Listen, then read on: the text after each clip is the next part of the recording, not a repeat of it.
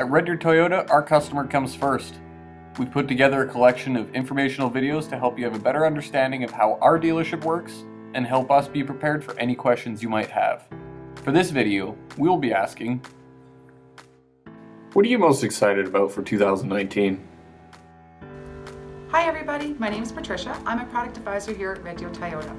What am I most excited for for 2019 is my little diamond in the rough, our CHR. Car actually stands for Compact High Rider. 2 litre, 144 horsepower. This little car is bigger than the Corolla hatch, smaller than the RAV, and has so much to offer.